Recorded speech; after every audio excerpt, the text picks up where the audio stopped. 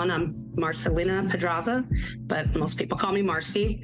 Uh, I've been a union electrician for 24 years now from the southeast side of Chicago, born and raised. I live and work here still, and um, I'm passionate about. Uh, workers' rights and environmental justice. I'm a member of United Auto Workers Local 551 and an International Brotherhood of Electrical Workers. And I'm a mom and a dog owner. My name is Torice Sawyer.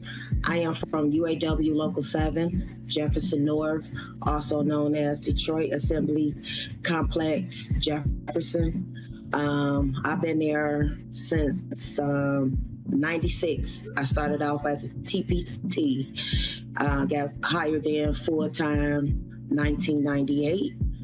Um, I am part of the rank and file. I work in 91, 94, um, and final assembly, which where we call rows and narrows, and um, we check the headlights and actually drive the vehicle to make sure that it's inspection. So.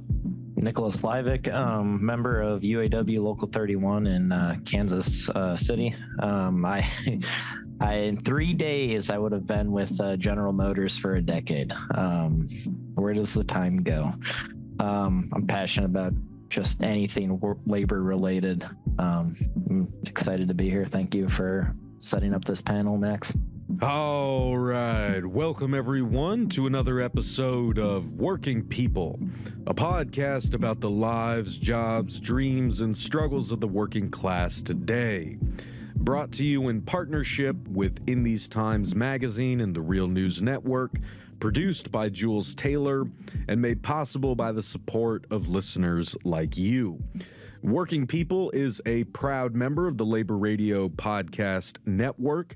If you're hungry for more worker and labor focused shows like ours, follow the link in the show notes and go check out the other great shows in our network. And please, please support the work that we are doing here at Working People so we can keep growing and keep bringing y'all more important conversations every week. You can support us by leaving us a positive review of the show on Apple Podcasts and Spotify. You can share these episodes on your social media and you can share them with your coworkers, your friends, and your family members. And of course, the single best thing you can do to support our work is become a paid monthly subscriber on Patreon for just 5 bucks a month. If you subscribe for 10 bucks a month, you'll also get a print subscription to the amazing In These Times magazine mailed to your door every month. Uh, if you haven't subscribed yet, but you want to get access to all of our great bonus episodes and support the show, just head on over to patreon.com slash working people. That's P-A-T-R-E-O-N dot com slash working people. Hit the subscribe button and you will immediately unlock a whole lot of awesome bonus content that we publish regularly for our subscribers. Uh, we just posted a really killer bonus episode with my man Tom Sexton from the Trillbillies, where we dug into uh, the Oliver Anthony phenomenon, uh, the the kind of country music, working class, you know, stuff that's going on. So me and Jules had a great chat with Tom about that. You guys don't want to miss that. So thank you to everyone who is a subscriber already. You guys are the ones who keep the show going. My name is Maximilian Alvarez, and I am very excited and grateful uh, to be joined on this special Working People recording. Uh, you guys heard we've got uh, my man Nick Livick, we've got Marcy, we've got Torice, we've got an incredible panel of UAW members uh, who are, as you may have heard, uh, in the midst of a critical contract fight uh, with the big three automakers. And um, we are recording this panel on Wednesday, September 6th. We're going to try to turn it around as quickly as we can uh, because things are heating up right now. Right, the current UAW master agreement with the big three automakers expires on September 14th. And uh, just earlier today, uh, UAW President Shawn Fain uh, said in very clear terms that if any of the big three automakers does not have a um, contract offer on the table by then, uh, they will see their workers strike. So uh, we're really coming down to the showdown here this is a pivotal contract campaign uh, involving, you know, a, a, a, whole lot of workers in a critical industry, and so we wanted to bring Nick, Marcy, and Torice on uh, to sort of give y'all an up to date view of what things are looking like from their vantage points, um, what they are fighting for, along with their coworkers uh, in this contract fight, and why it's so important that all of us rally around them and support them uh, until they get the contract that they deserve. So I'm going to turn it over to our incredible panel in just a second, but as as we always do, we want to make sure that our listeners have at least some baseline context to understand the rest of the conversation that we're going to have today. So uh, I just wanted to read uh, a couple passages from a great breakdown that was published last month at Labor Notes uh, by the great Dan DiMaggio and Keith Brower Brown. And of course, we're going to link to this in the show notes along with other helpful links for y'all so you can keep reading up on this contract fight um, and the, the the major changes that have happened within the UAW in recent years, uh, which we're also going to talk about today. But just to sort of give y'all some of that baseline context, um, Dan DiMaggio and Keith Brower Brown write in labor notes, quote. The clock is ticking towards September 14th at midnight when the auto workers' contracts with the big three automakers expire. The new leaders of the UAW have come out swinging, and in quickly growing numbers, members are stepping up to prepare for a strike. The agreements cover close to 150,000 workers at Ford, General Motors, and Stellantis. In early August, President Shawn Fain presented a list of the members' demands to the companies, calling them, quote, the most audacious and ambitious list of proposals they've seen in decades, end quote. These bargaining goals are aimed at undoing concessions extracted by the companies from previous union administrations since before the Great Recession. A major goal is to ensure that the transition to electric vehicles is not used to further undermine auto workers' standards. Entering this round of bargaining, the big three have reported a combined $21 billion in profits in the first half of 2023. This comes on top of profits of 250 billion over the last 10 years. Quote, Our message going into bargaining is clear. Record profits mean record contracts, Fain told UAW members on Facebook Live August 1st. Instead of the UAW's past tradition of targeting just one auto company in bargaining, then basing contracts for the others off that model, Fain warned all three companies to consider themselves targets, keeping them guessing about which one may ultimately be struck, or whether union members might walk out at all three. In 2019, 49,000 UAW members struck GM for six weeks. Among the demands Fain presented are eliminating tiers on wages and benefits plus double digit raises for all, restoring cost of living adjustments, which were suspended during the Great Recession, restoring the defined benefit pension and retiree health care for all. Workers hired since 2007 have neither increasing pensions for current retirees. There's been no increase since 2003. The right to strike over plant closures. A quote, working family protection program, which means if the company shut down a plant, they would have to pay laid off workers to do community service work. Making all current temps permanent employees with strict limits on the future use of temps and increasing paid time off. End quote. All right. So that's just kind of the opening uh, salvo here. Let's dig in deep to the rest of this historic contract fight with our incredible panelists.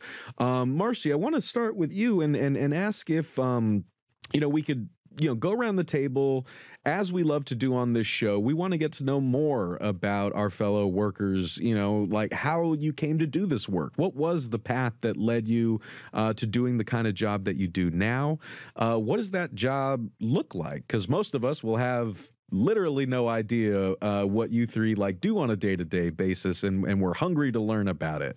Um, so, yeah, tell us a little more about your own path into the auto industry, the kind of work that you do, and the kind of issues that you have seen and experienced firsthand that are, you know, really at issue here in this contract fight. Yeah, so thanks for having me again. Um, so as I said, I, am an electrician. I started in construction, but um, you know, as we know, that can be kind of a on and off again type job, you know, where you have to go look for work. And sometimes, you know, you're not working for weeks at a time and you might lose your benefits. So actually, it was back in 2013 or 2012 when Chrysler, at the time, Chrysler called me. They found my resume online. They said, Hey, we need more tradespeople. And I was like, where is this plant? They said Belvidere. I was like, I don't know where that is. They said it's right near Chicago. I'm like, that's nowhere near Chicago. It's near Rockford. So anyway, I moved my my family in 2013 to move to Belvidere to work at Chrysler Belvidere Assembly Plant, which has now been idled. Um, and you know, it was just for something more steady. You know, I took a pay cut at first because, you know, coming from the outside to the inside, it was it was a big pay cut, but steady work, great benefits, you know, um, all that stuff. And I was there three and a half years. And then, even though I was always back and forth home, coming home to Chicago, where I'm from, so then I saw that Ford was hiring, and now I work at Ford Chicago Assembly Plant here on the southeast side, um, which is right near 10 minutes from where I live. And um, I've been fortunate to be there seven years, but I've done all kinds of things from you know babysitting robots, troubleshooting, um, working on panels, uh, VFDs. You know, there's a lot, and and and now I do more like um, preventive maintenance uh, work with the in the paint department. So making sure all the trades have their you know work tickets and creating work orders based on what kind of maintenance needs to be done in our in our department. So it's it's been uh you know uh, a lot of learning experience, especially coming from the outside doing pipe and wire. I come to this industry and they're like, "Oh, what do you know about PLCs?" I'm like, "Well, I had a class, an apprenticeship program, but I never used it on the outside, you know." But I, have learned a lot and had robotics training, and um, yeah, so it's just been, you know, a great experience. Uh, you know, learning new things, but um, you know, it's also you know, it's it's a time where like we're we're we're realizing that like I've been, you know, in the UAW 10 years now, and this past contract, we've only received a 3% raise every two years. So that's 6% over the last four years. And that doesn't even catch up or, you know, it doesn't even uh, compare to inflation, which has been like more than three times that, you know. So when they say, "Oh, look, you're getting this raise or this lump sum bonus," you know, it's it's just it it's the, the bonuses just come and go. You know, they don't like that's why we're fighting for cost of living allowance because that's permanent. You know. Well, me as myself, um, me being at Jefferson North Assembly Plant, I work in final. I've worked in all the departments in assembly, trim, chassis, final a um, little bit in body shop when I was a TPT. And I began, when I began working there in 96, I actually left another facility that used to build parts for um, Chrysler, and that was the Sebring. And I got a phone call from my girlfriend, like, hey, my aunt worked at um, uh, unemployment agency. She told us come down and fill out the app. And I'm like, bet. I'm like, so we rush down there, we fill out the app. And it's been, yeah, almost 27 years counting the TPT time that I've been at um, Jefferson North Assembly Plant. And and back then, we was at minimum wage and that was minimum literally like I want to say seven, eight dollars an hour. So when I came to Chrysler, that was such a blessing for me because I had already had purchased a house at the age of 21. So that was like oh my God, I was at 12. We started at 1254. And now the kids starting at like 17 $18. And when I tell them I started at 1254, they like, here? You was making only 1254 working here. They like really thrown back with that. And I was like, Chrysler was like everything back in 96 just to try to get back in the in the big 3 because it was so hard to get in GM for a Chrysler. So, and I remember filling out the app. I put all of it, part time, full time, anytime. Just let me get my foot in the door. So I was very happy to come and work at Chrysler because like I said back then, it just meant everything and you was not getting that type of pay um, I was just like almost like three, four years out of school, out of high school. And I didn't immediately go to school to college. I did have some experience with community college at the time. But with that rate, it was like really unheard of. So I, I felt like uh, working at the Big Three was like a blessing to me and my family and I have three boys that have come up in the ranks, not at Chrysler, but off off our um off our livelihood. It's uh, it's powerful listening to everyone's stories. Um, my mine actually starts in the in the 60s. My grandfather hired into AMC Kenosha. Um, when that closed down, he got hired into Janesville, Wisconsin. Um, my mom sorry, I'm battling a little bit of the cold. The kids got me. Um, my mom uh, got hired in. Uh, I think she's a 96er too.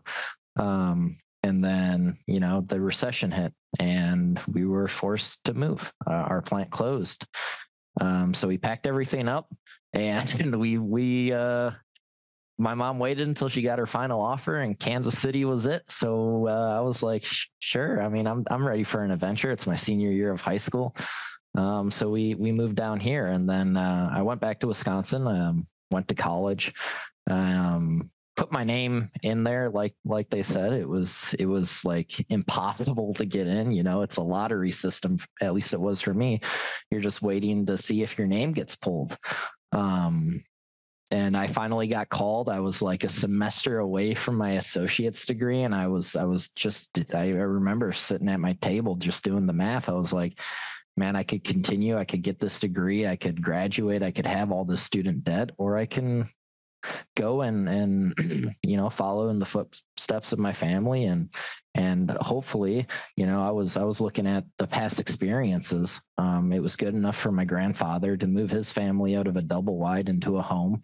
Um, it was good enough for my mom to actually buy her first new car ever um, after she got hired in. I mean these jobs used to be life changing jobs. Um, it, it set the standard um, for for not just manufacturing, but all of them, the the, working class in America. Um, so I got hired in, and I just kind of bounced around. Um, I've done I've done just about everything. I'm I'm in general assembly, so we we do all the inside of the vehicle. Um, I've done material. I've been back in body shop. I've been uh, a team leader. Right now, I'm in the pool, um, so I can go to any job in my group, um, and I'm just pretty much expected to be able to walk onto that job or do that job with minimal training.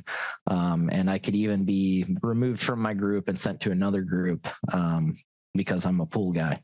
Um, so I could go to to group one and it's the same kind of conditions you know you're you're you're tr- you're trying to free up a team leader um, or or somebody else get them off the line so you know they can watch your brothers and sisters or or the people people in their area.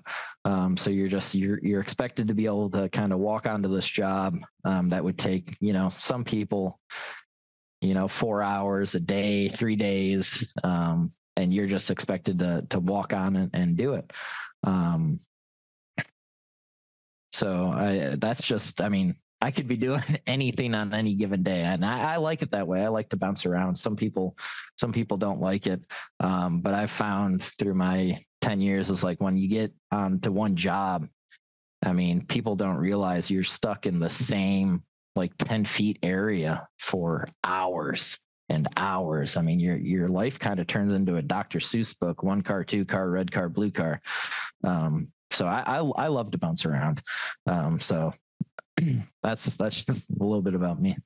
Well, I want to I want to actually pick up on that real quick and do like a sort of mini round around the table because because y'all are doing such different jobs or it, you could do a different job depending on what day of the week it is, right? And so I just wanted to uh, give listeners like a sense of like what a typical week looks like if there is such a thing for you. Like, because again, like this is we're talking about the auto industry. Like we know in general that it's hard work, but I still think a lot of people don't know what that entails. So, like, just to give folks more of a sense uh, of like the real day to day grind that we're talking about here, could we go back around the table and just, yes, like tell me uh, like what a typical week looks like for you. Like how long are you working? What's your commute like? What does it look like in there?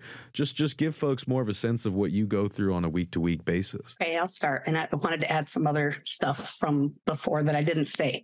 So you can put this in later if you want. Um, also i wanted to uh, mention that i'm a fourth generation union worker. Uh, my family i come from a long line of steel mill workers and railroad workers um, that worked on the southeast side, you know, before the steel mills closed, and and uh, basically, you know, like just left their community in despair.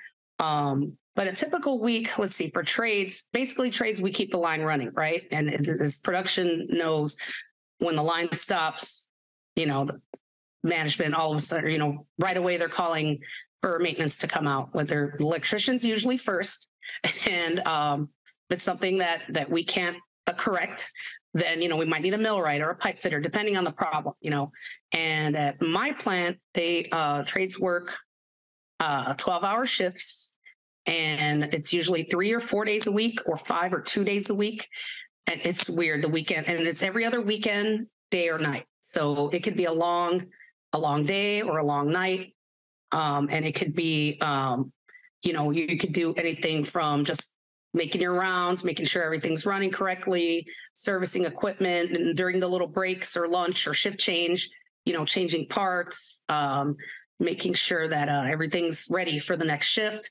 Or sometimes, you know, when uh, when something breaks down, you know, they're on us like like all the bosses come from everywhere in the planet seems and they're like hovering over you bird dogging us like why isn't it running? Why isn't it running? You know seconds is is money and it's just like every second that the line is down and freaking out.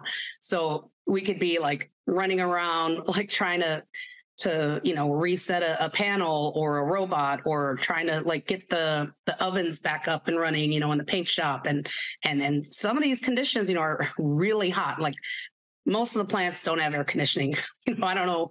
Uh, some areas do, but it's mainly to protect the equipment, like in a paint shop. You know, um, so we could be running to the roof to to check the RTOs, or you know, working right near an oven, which you know, just because it's turned off, it's still like like really hot around those ovens. Um, you know, I remember working one breakdown. We were pretty much every electrician in, in that department working on this uh, communication issue. And we were there for hours and like they had to bring us water and, you know, we were just melting. And time we were done, we had to change our coveralls because everyone was just soaking wet. But you know, not every day is like that. It's just like it just depends on on what's going on. You know, like a lot of these plants run. I know our plant runs twenty four seven, and there's hardly any time to do the basic maintenance that we need to do to keep the plant running in an efficient manner. You know, they want they just want to make make cars and produce. And a lot of times, you know, they don't care about the conditions of the equipment. Um, you know, they're like, oh, let's work a super Saturday, super Sunday. It's like, all right, well, where's our 24 hour time that we have to go in and like fix the problems so that you don't have these breakdowns, you know, throughout the week or the next shift, even. But they don't really look into that, I guess. Well, for me, um, I am over in 91, 94, which we call Rose and Marrows. And I am working. We actually, they actually have our plant at critical status, meaning um, we're supposed to be actually working Sundays too as production. we only work one production Sunday. Um, thank God, because we still been on six days, 10 hours. Um, in my department, we also do reprocessing, meaning um, the unavailable vehicles that have defects, we actually come in and we have to process those cars through Rose and Merrill's. So if they're not working on a Sunday, we are canvassed to work overtime on a Sunday in our area. So some last month, I believe, yeah, the last two months, I could say I had almost worked, and I was counting about 23 days straight.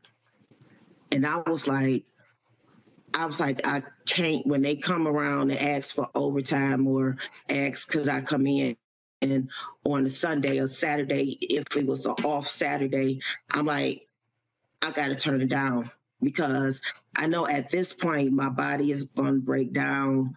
Um, I'm just barely just like getting over a cold myself, and, and I know my immune system will just uh, just automatically break down. So we are literally we're working nonstop as well, and we felt like that because they felt like we may strike, they was kind of stockpiling the cars as well just trying to build whatever they could build and we'll get it on the back end. We'll repair those cars on the back end. So at the same time, you you want the money because you don't know if you're gonna go on strike and you want to try to put money aside. And then I still have a 13 year old that's in school, my last Mohican, I call him, um, that I had to school shop for and things of that nature. And just going to the grocery store and spending $250 at Costco's like nothing. And then I still have to go to Meijer's and buy some of the stuff that they didn't have at Costco's. So I'm spending a good $400 at least on groceries. So I'm I'm I'm appreciating the overtime, but at the same time, I'm I'm getting burnt out we are we are really getting burnt out. And I try not to complain and I thank God for the job, for the opportunity, but at the same time we are getting burnt out. And I uh I I mean the nature of my job is I I never know what's going to go on. Um but when I was when I was a team leader to to kind of tag on what Marcy said, I mean, when the moment that line goes down and like it's it's it's a high stress situation because the moment you go your your line goes down the moment a job in your team goes down management's right there on the radio and they're like what's going on at 154 what's going on at 210 like what what is and it's like I mean, it's it's only been like five seconds, guys. Let me let me at least get up out of my chair and walk over there. Um, so it, like it, you just gotta you gotta like just just imagine that you there's a never ending stream of work as far as your eye can see and you're just sitting there in the same 15 foot footprint and you're walking back and forth and this isn't like a, a slow walk this is this is you got to keep up or that line is going down and if that line goes down and if it goes down too many times management's going to be standing there bird dogging you watching um, so you're you're standing there, you're walking back and forth. You're probably going to walk 10 to 15 miles a night just in that same 15 foot footprint. Um, you're going to be adding parts to the car. Um, the jobs at my plant run at about 58 seconds. So every 58 seconds, you got a new job. Um, but but you can't even really look at it at the takt time or the the job time. It's more of the load time. So at our plant, a lot of our jobs are 98% plus loaded. So these are busy jobs. And even the jobs that are less loaded, it, well, it's because the uh, management came through with their little stopwatch because they'll do this every year and they'll time the job. But they shave off half seconds, quarter seconds and they make the job work on paper and then they stand back and scratch their head wondering why the line keeps on going down. Well because last year it took me two seconds to do this push pin and now it only takes me one second to do the push pin. So you do the math. Um, and it's it's it's it's hard work. There's a lot of facilities I'm actually kind of fortunate. My facility is climate controlled. So during the the heat of the summer, you know, it could be 110 outside and uh, we're lucky and it's the plant staying at about 90 degrees, you know, but that's still that's still hot for physical labor. Um, you go over uh, to 249, the Ford plant, and they're not climate controlled. Um, they're they're out there. If it's uh, 110 outside, you know it's 120 in the factory, and they're getting heat relief breaks. They're getting literally people are wheeling water up and down the aisles just to to give people water breaks. I mean, it's it's insane that we are in 2023 and we can't even have like basic conditions inside of the factories. And then you think about the dock workers, you know, they're driving into these semi trucks that are really nothing more than convection ovens when it's this hot outside. Um, and then you go in the wintertime and then it's freezing cold. Um, so there's just there's a there's a lot of of things. It might in my 10 years before I turned 27, I'm 31 now. Before I turned 27, I had trigger finger, carpal tunnel in both my wrists, frozen shoulder. Um, I had blown out my back because I was on a job where I was literally bending over 90 degrees. So you you do that for 420 times a night. Do that times times that by five or six you know and that's how many cars you're doing in a week. Um, and and my plant's one of the lucky ones. We do nine hour shifts. Um, we're we're only slated to do eight. Um, but we've been doing an hour of mandatory overtime. Um, We've been scheduled a lot of Saturdays. Right now, the supply chain's so wonky that they've been canceling them. They'll schedule it. And this is another great thing that management does. They'll schedule a Saturday. And then before the weekend comes, they're like, oh, we don't actually need you guys. Like it's Wednesday. And it's like, oh, thanks. You know, I could have gone out on, uh, I could have gone out and enjoyed the time with my family. But instead, you know, so we, we can't have vacations where we're in there in in sweltering conditions you know the work has gotten it's essentially a speed up um, because the work has gotten so bad and so busy that that even if even if, if a, something as simple as a wire comes tangled to you down the line, the line's going down. Um, so it's really dependent. Like everybody needs to do their job a hundred percent every single time. And if you miss something, the the next job's going to go down, and then that person's in the hole. So then that person's run trying to catch up.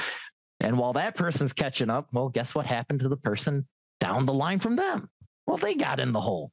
So I mean, it's a it's a just a cascading uh, uh, effect. Um, so that that kind of gives you an idea of what it's like to work the line. It's hectic, it's it's stressful, but you do get your good days. You know where where everything just seems to be working and you can just kind of listen to your music and or audiobooks. That's I'm a big fan of audiobooks um, and just kind of zone out because you've been on the job for so long that it's almost like your body's busy, but your mind's free.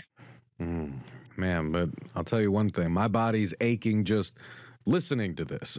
like my like I got a shitty back and a bad knee and they're both hurting listening to you guys talk and like speaking as a former warehouse worker in Southern California, I, I know what it's like going into those trucks in the middle of summer. Like when you say it's like a convection oven, you're not you're not kidding. Like you go out into the sun to cool off after coming out of one of those goddamn trucks. But I mean, like, and, and even just hearing this, right? I mean, I think folks can start to put together, you know, like why y'all just as workers in the auto industry who have such high demands put on you and your bodies and your brains and your coworkers and the different departments and, and the speed ups that that affect your lives in the ways that y'all enumerated. I mean, even just thinking about that, the kind of working conditions and, and what it does to you as human beings trying to meet those quotas in such a high pressure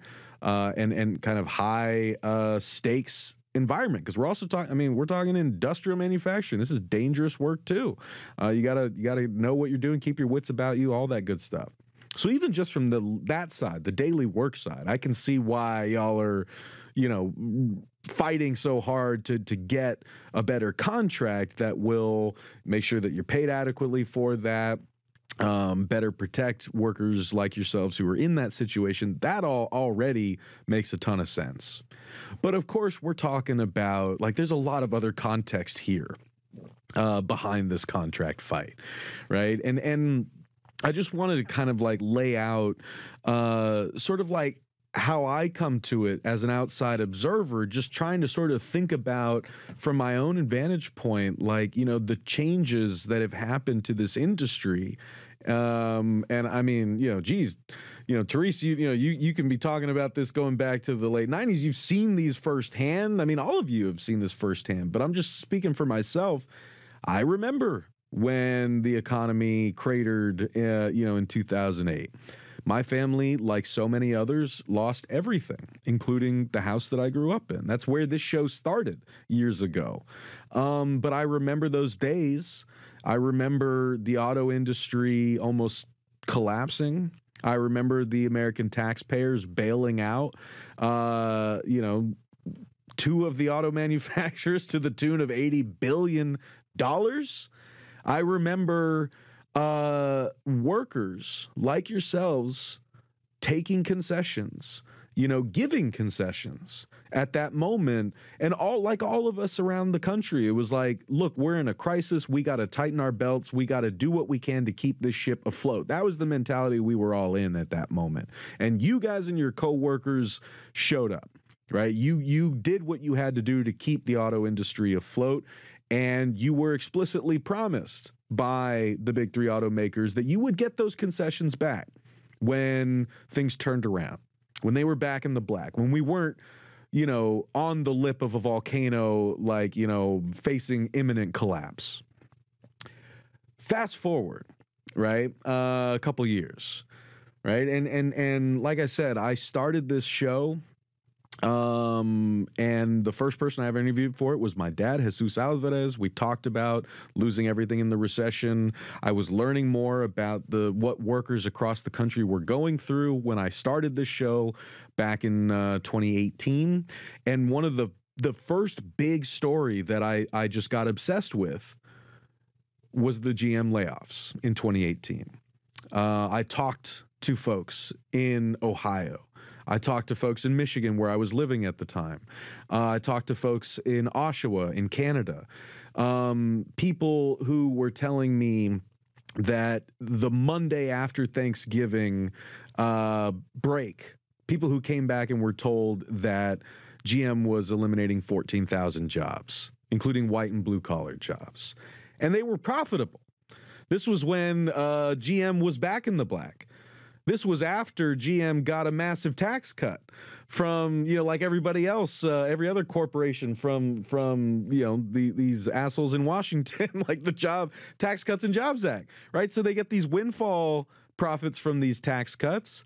There, you all made uh, this industry profitable after the Great Recession, and how were you repaid? with more layoffs, with closures or idling. They always love to idle plants because they can't they don't say they're going to close them. They just say, oh, we're not using it right now, but it effectively has the same effect. Uh, that's what happened to Lordstown, the storied plant in Lordstown, Ohio, right? I mean, this is what this is what's been happening in plants all across the country. And right now, we're talking about uh, an auto industry that is not where it was in 2008.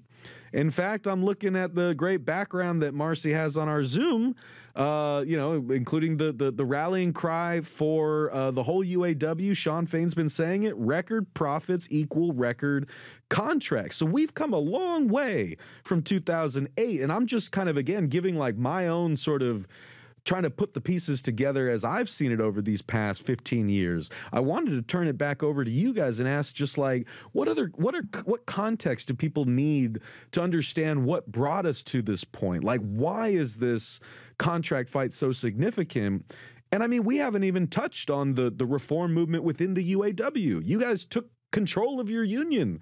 You got rid of a of a of a one party uh, administration that had ruled uh, for like seventy years. Like, I mean, there, there's so much that has happened in this time, and I'm sorry I'm talking so long. It's just like this is such a, a an important fight that I'm hoping folks uh, I'm communicating effectively for folks. But I want to turn it back over to y'all and ask just like yeah how do how should we be framing this like what is the context that led us to the point where we could see a major auto industry strike within the next two weeks.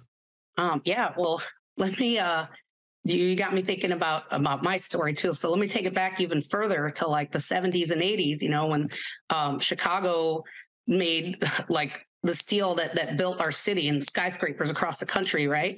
And you know, when those mills closed in, in my neighborhood in the southeast side of Chicago, it was devastating for our community. You know, like at some point there was, I think, uh, I don't know, 100, 100,000 or so workers in the mills, maybe more. And um, those companies just left. There's a great documentary about when Wisconsin Steel closed called Exit Zero by Christine Walley.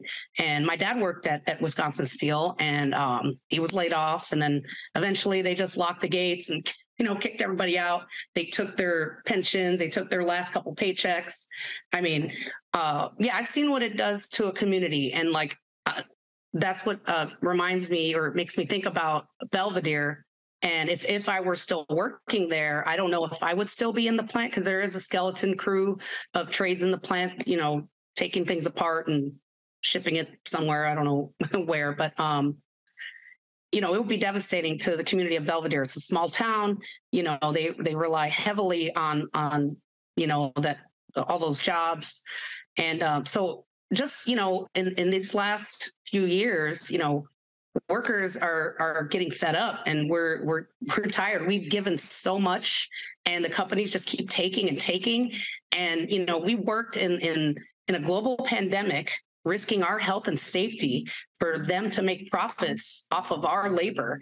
And that's why you've seen like so many you know more strikes happening. I was just reading in the Washington Post um, about like this is the most strikes this year since the beginning, since before the pandemic, right? Because you know it started when um, well, most of us went back to work like after a couple months, right? Whereas a lot of people, especially the salary workers at Ford, got to work remotely. You know, it's not an option for for most workers, and um, kind of jumping around a bit. But yeah, you know, like the it started with the the Kellogg strike, I think, and then um, you know, Caterpillar, John Deere, you know, SAG AFTRA, and just countless uh, CTU, Chicago Teachers Union, you know, um, huge uh, organizers in the labor movement, and it's really making people like like come together because you know we're not we shouldn't just classify ourselves as lower, middle, upper class. Like I have a, a family member who thinks that you know they're comfortable, they're upper middle class. I'm like, yeah, you still go to work every day, right? Your wife goes to work every day. You're you're working for a paycheck. Like you're you're not, you know, you're not part of that one or 10% even, you know, we're all working people, we're all working class. But corporations and and you know the billionaires want us to to fight each other and say well no they don't deserve this and you know mcdonald's workers don't deserve that or you know starbucks workers you know but it's like what they're getting what they want. They're getting us to, to fight each other when really we should be fighting them because there's more of us than them, you know? So I'll just, well, I was going to add too about, um, well, issues with, with the trades specifically, like, you know, it, it seems like, like with production and trades wages, they're pretty close. You know, we make probably a couple bucks more an hour. Um, so it's almost like if, you know, sometimes your production, you want to get in the trades, they think, oh, it's going to be it's going to be easy you know it's not easy but they're easier. Um, but it's a lot of training and and it, they might think it might not even be worth it just for just a few bucks more. And right now we're facing you know like it's there's more trades retiring you know the, the boomers you know most of the trades i think over 50% are over the age of 45 you know so we're going to need a lot more people getting in the trades but if these wages stay stagnant the way they have been, nobody's going to want to do that, you know. But when I started in, in 99, it was ideal for me because I, I just I went to University of Southern California for two years, couldn't afford to finish because the school was so expensive. But as soon as I got in the apprenticeship, you know, I was able to pay off my college loans, buy a house, you know, stuff like that. But So yeah, they're going to have to. Th- these companies are going to have to pay up and, and to be competitive if they want to have a, a a strong and, and you know a good workforce. COVID. And it's before then, but really when COVID happened, when the when the pandemic happened, people was literally fed up. That that was like a, a, a real kicker because I just remember how they had Taco Bell's open, McDonald's, all these fast food places open during a pandemic. Like people dying, you know what I'm saying, of COVID, and y'all felt like that was important to keep these places open. I literally felt like only thing that should have been open maybe was the gas station, grocery stores. That that was the essential worker. They included um, um, Chrysler workers, GM, for they considered us essential workers, and they was also I remember looking at CNN saying like we supposed to be getting hazard pay. Like the people even at the restaurant should be getting hazard pay uh, because they was basically taking the risk of going to work every day and catching COVID. You know what I'm saying? So I'm looking like where where our hazard pay at? Because I remember like our life had changed. We got the temperature, we can uh, making sure we ain't got a uh, a cold and all this crap. We got the the plastic um, dividers that's kind of dividing us sitting at the table. When that really happened, and they really expected us to come in and i remember getting angry when people was coming running late because you literally was trying to find a babysitter uh, someone watch your kids. What you talking about? They tardy. They need to have a babysitter. You couldn't even take your people couldn't even take their kids over people houses and the grandmother houses, the grandfather houses, because they didn't want to get them sick. So it was like we, that really opened people eyes like they didn't want to work here. They didn't want to work. They like f this job. You know what i'm saying? Literally they and this a lot of people didn't even come back after that because they were so afraid of catching covid. But just everything just they feel like they won't get enough money. Just everything just start coming in on people, and they just felt like they was unappreciated. Um, of course, they like the wages is not enough. It wasn't nothing enough for as, as I remember. That's what they that's what they told us. Like y'all y'all is killing the, the unemployment. So y'all need to hurry up and go back to work. And we literally was off maybe even at maybe the two months. But that's what really kind of kicked up all the smoke, even with everything that's going on. COVID to me really just had people just fed up. Just like, oh, this is not enough. You know, you seeing your coworkers die. We was, oh my God, just family members dying. You know I'm saying? It, and it was, we just was exhausted. During the pandemic, people didn't literally didn't come back. They didn't come back to work. And we wasn't having enough people. The TPTs was literally used every day. Supplemental workers, whatever they want to call them. I, I think of a supplement as a vitamin, but they called um, them supplemental workers. They literally worked every day because people didn't come back to work.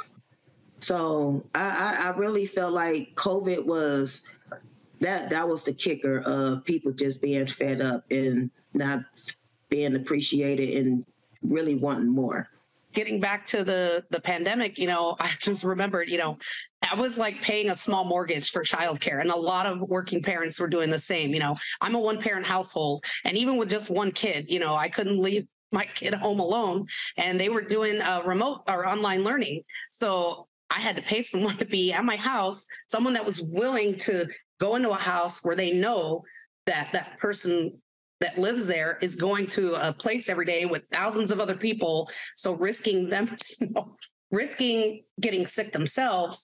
And like I said, you know, it was like paying it was like paying another mortgage payment or a car payment. And you know, the little stimulus checks we got here and there that didn't really make up for it. But that went on for like a year, I guess. I don't even know.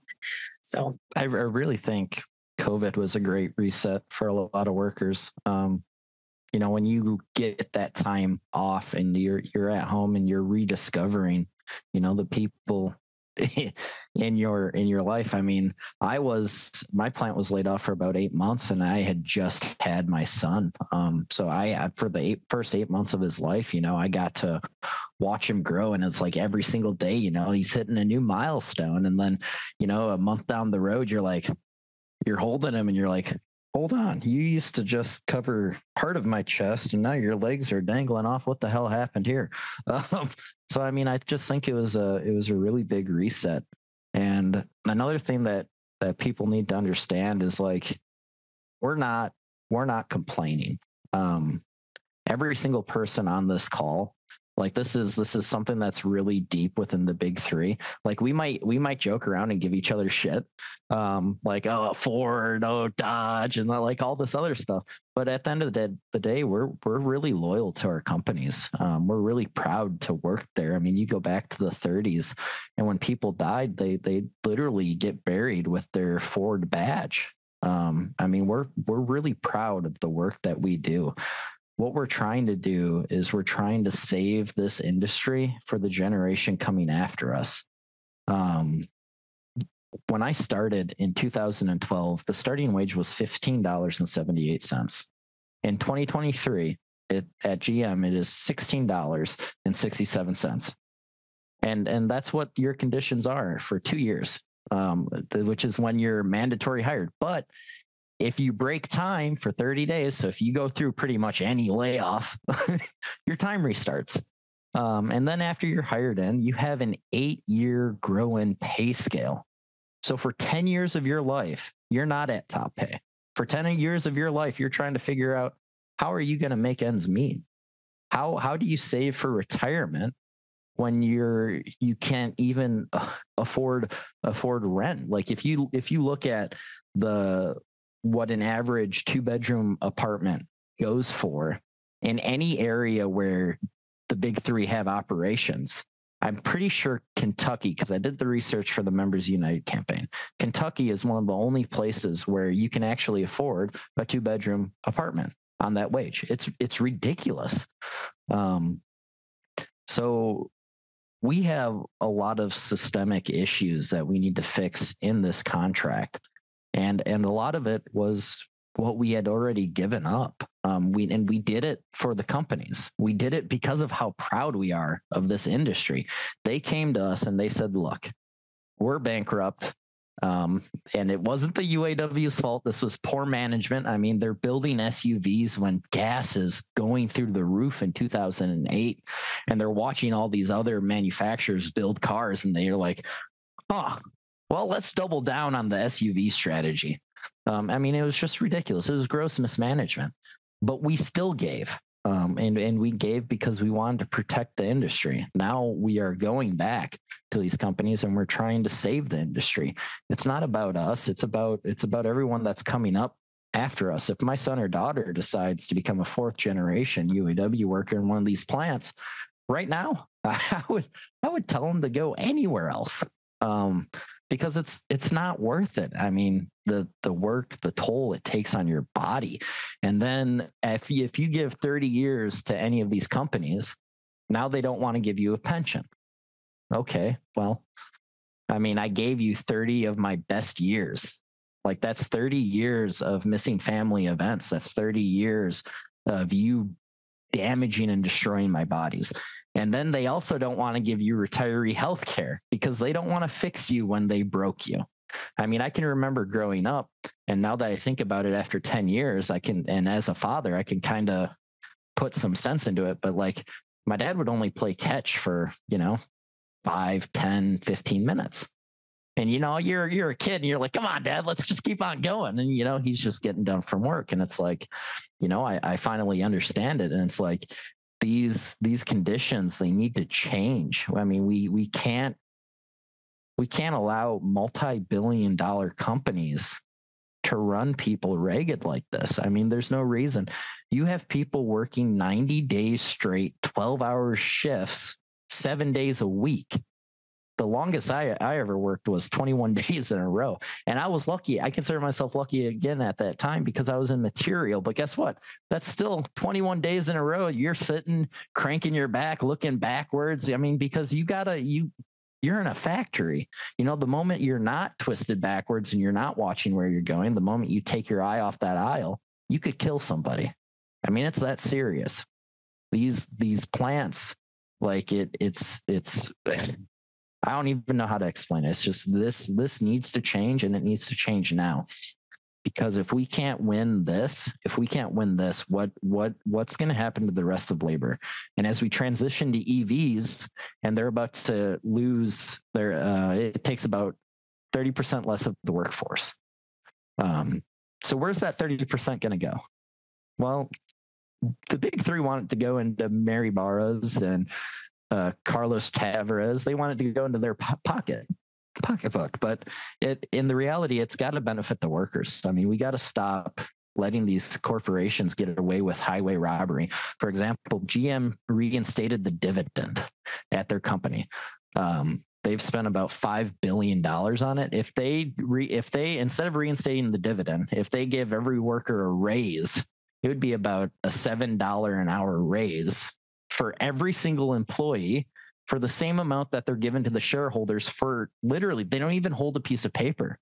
It's just an uh, an electronic share that pops up on their um, on on their their app like Charles Schwab or whatever.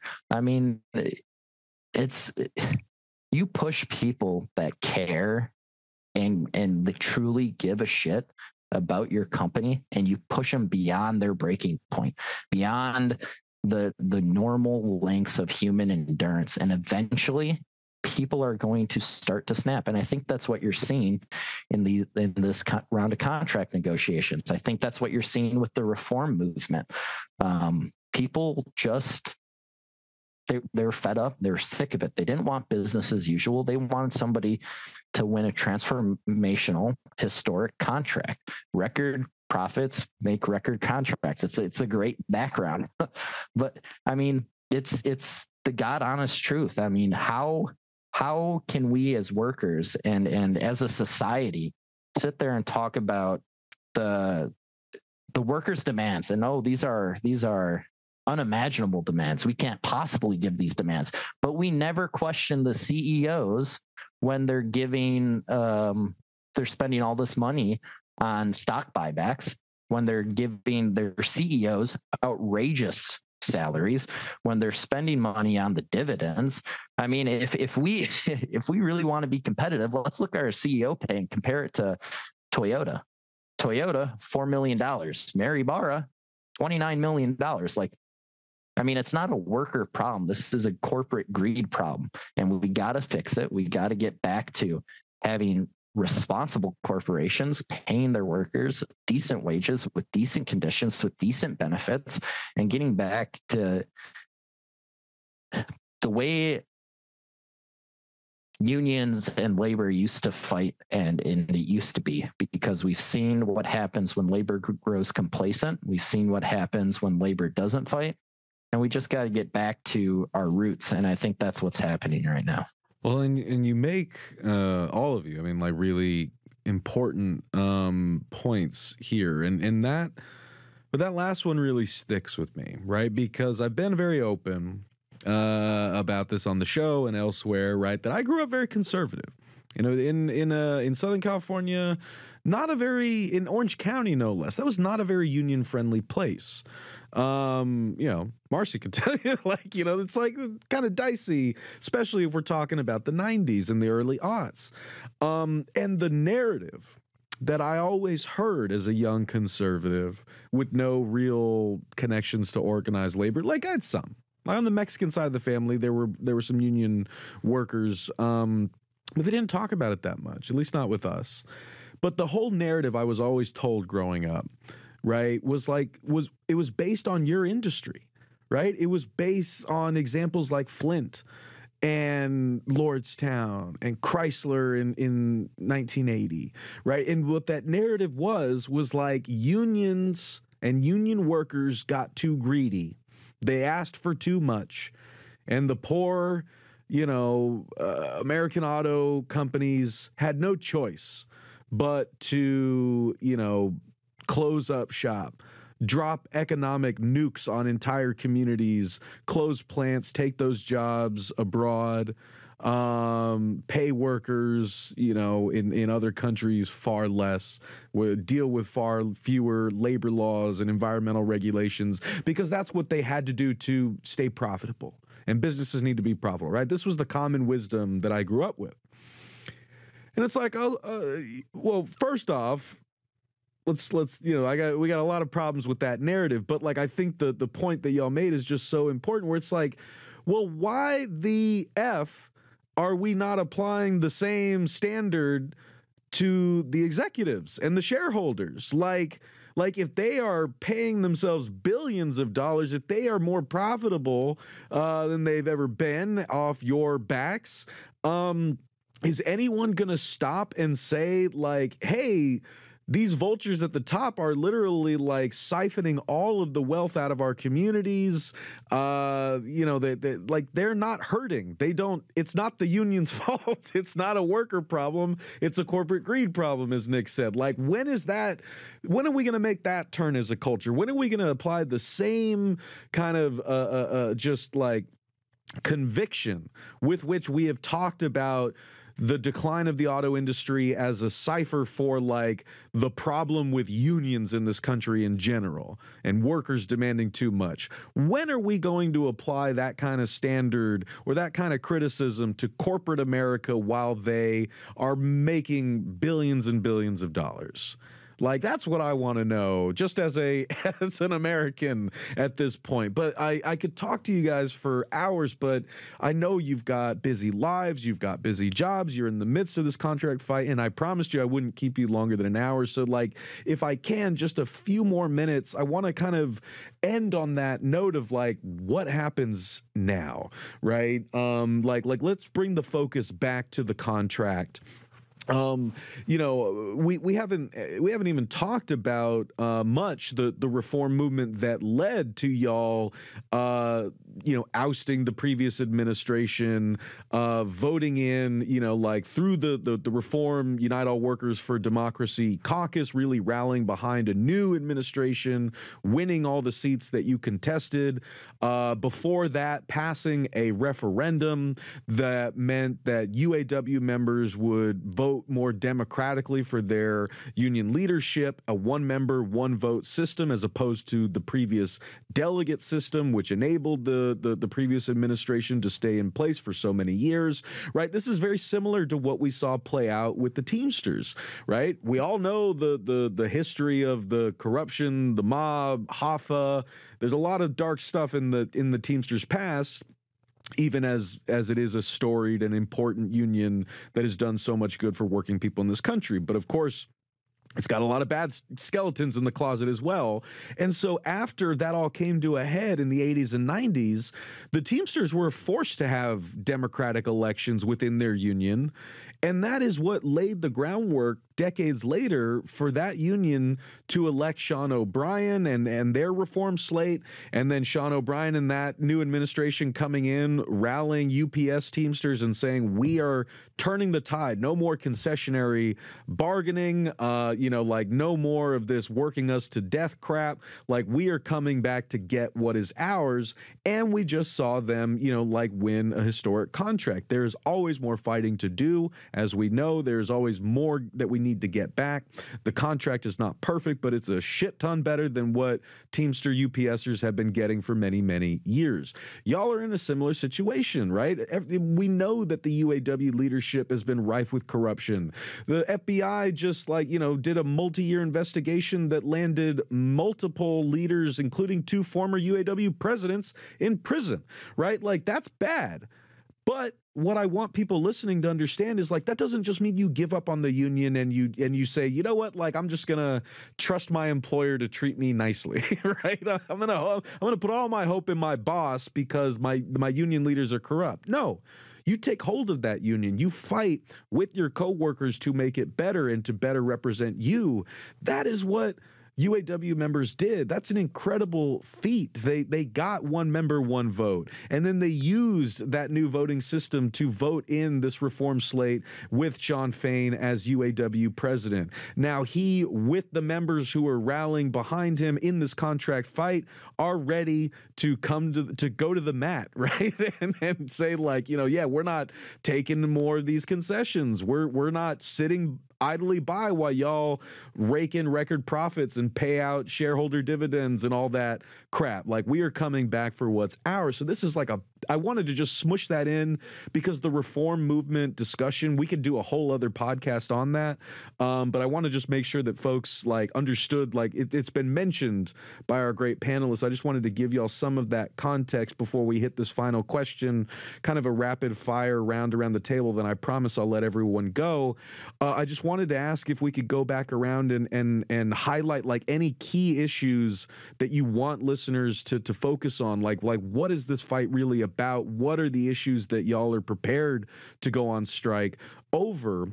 Um, and most importantly, what can we all do within the labor movement and beyond? What can people, uh, working people, do to stand in solidarity with y'all if a strike happens or not? Hey, that's a lot to unwrap there. Let's see. Um, first of all, yeah, I'm just uh, so uh, glad at, of the transparency from our newly elected leadership you know i think they're doing a great job at getting the rank and file fired up you know we we mean business you know now and i just came like right before this we had our practice picket at our union hall. We have another one coming up this friday. So i would just you know urge people to to support us you know if if you see us on the picket line, support us if you can. Give us a honk. Uh, donate to our strike pantry. You know, uh, pass out some gas cards, whatever you can to support. And you know, workers just need to support each other. You know, like we're we're all fighting for like decent living wages and conditions you know coming in um, after you know 2013 i'm not considered a legacy employee but because i'm trades you know I, I didn't have to start at a lower tier but i don't have a pension i don't have lifetime medical. You know these are, are issues that are important to me you know like um, obviously you know we all need huge or wage increases uh, across the board because we see what what profits these companies are making and um, you know it's it's time for them to to give back what what everyone has lost these past you know over a decade now 15 years um, almost. So yeah like i said just support support our our our pickets, our um, contract. You know, let's not let's not fight each other over. Well, you shouldn't make this, or you should just be happy you have a job. You know, I hate seeing. I'm so I hate reading the comments on on any of the the union you know posts that that I see. Like I just try to ignore it. But if if you're fed up, then then organize a union in your own workplace. You know, whether it's an office or a factory or a store. You know, uh, you deserve better wages and benefits too. I'll leave it at that. Well, I'm happy you did mention um, the reform one member, one vote. That was the best thing since sliced bread. I can say that because um, I did used to be in leadership and I did consider um, our former presidents and VPs as my superiors that was such a slap in the face in what we endured. And it was vital, vital that we had one member, one member, uh, one member, one vote pass. I am so happy that we have Shawn Fain as our president and the rest of the IEB board that did get elected what people had to realize these individuals was part of the rank and file just months ago. They was in these plants. They had endured everything that we're talking about have talked about for this past hour, they knew everything that we experienced. So it is so important that these individuals are in these positions that they are in. And that's why this contract will be epic. It will be epic. Record profits, record contracts. That is that that's the sum of everything what Shawn been saying. We are not trying to be greedy. We just asking for our piece of the pie. We do not care what the CEOs are making. If just think, if they would give us a couple of million of dollars of what they're getting um, a year out their $24 million salary and gave it back to the members, that would that would be that would be epic. We're not asking for much. All we asking for is our due diligence. And I I do have a pension, but I do want my brothers and sisters that came in there after me to have a pension because even the ones that have a pension, they didn't even realize I had to tell a full-time worker that has that has a pension. I said they don't get nothing after they when they leave. Literally. And she's like, What you mean? I said, they don't have dental um um glasses, they don't have nothing. They just quit. And she's like, Oh my God. So I'm this last week this last week, I'm telling someone this. So that's the division that this has caused. And that's why it's so important for them to get a pension also. Their, their bodies eh, um, hurting just as like our body hurting. My feet ache. When I get off the car, I have to calm down and just sit in the car for a minute because my feet is hurting. Their feet are hurting. Their back's going to be hurting. They're not going to be able to see. They may need dentures. This is what we are talking about. Yes, we had to go back and say, hey, we're not going to offer pensions, but they did make a deal and say, hey, once we do better, we're going to give back. Now, all that then went out the window and they just want to say, oh, we just got these workers and this is what it is no, this is not what it is. This is not what it has to be. We all are one big family in the UAW. And if we get pensions, they need to have pensions too. COLA, everything that we're asking for, we're not asking for much. We just asking just for a little. And I love to come back because it was so much that need to be said as well. But I love Shawn Fain and I thank him for everything that he is out there trying to do. And I pray for his mental health because this stuff is not easy. Mentally, physically, none of it. I pray for all of our union leadership. Thank you. Yeah, it's just um, you know, anybody that if if you think your union's not working, I mean, UAWD, TDU, we have proven that you can you can reform your union, you can transform your, your union. Your union is not the leadership. You are the union. The rank and file is the union. The the union is not an outside entity. It is you. If you have a problem with it, step up and change it and you can change it in a really big way. Um, how can people support us? I mean, there's the obvious things like come down to our picket line and talk to talk to our uh, talk to people. I told you this, Max, on our last interview. You know, that's at my plant. That'd be two thousand different stories, um, two thousand different reasons of why people are standing out there. But more importantly, if you really want to support us, if you really want American manufacturing to exist, we got to buy union made products that are built here. You got to support your communities and and you got to check your VINs and make sure you know they're not built somewhere else. If you want these jobs to stay here, if you want these jobs to to be good for the next generation, I mean that's a really big part of it is is supporting union labor, supporting hardworking people like those on this call and the 150,000 of us across the nation. Um, and it's so much bigger than just us because for every every job in the auto plant it supports seven i've seen numbers seven to nine jobs outside of it. That's in the supply chain right? So you got your suppliers and all of these people depend on this industry. I mean this is a big this is over a million jobs we're talking about that's going to be affected if we go out.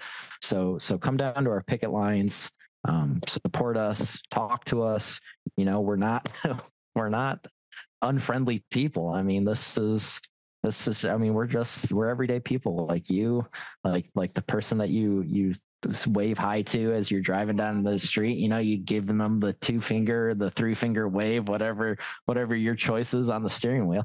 I mean we're we're just like you. We just want to we just want our fair shake at the table. We want these jobs to be good paying jobs and we want corporate america to stop fleecing the workers I mean, that's what this is. They the the Shawn always says the talking heads say class warfare but it's only class warfare when when the working class people start stepping up. And i'm sorry if you can hear my son in the background.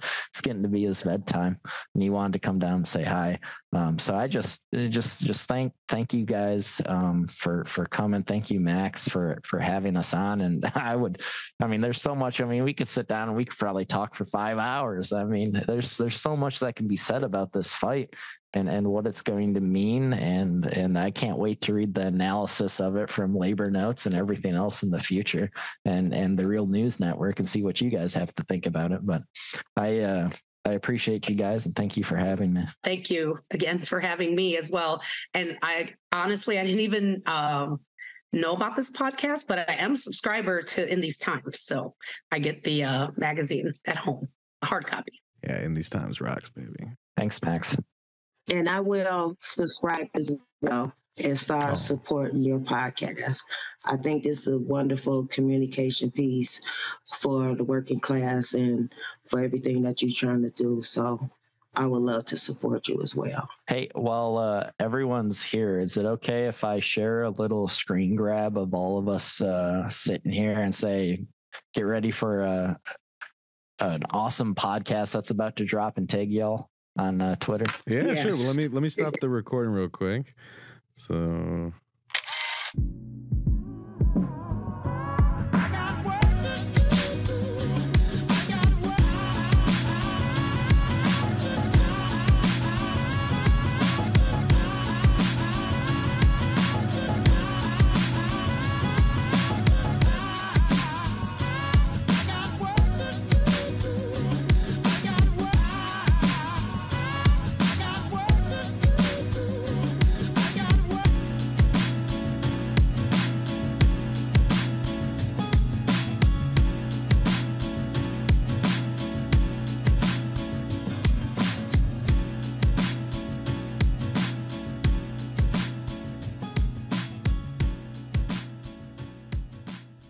Thank you so much for watching the Real News Network, where we lift up the voices, stories, and struggles that you care about most.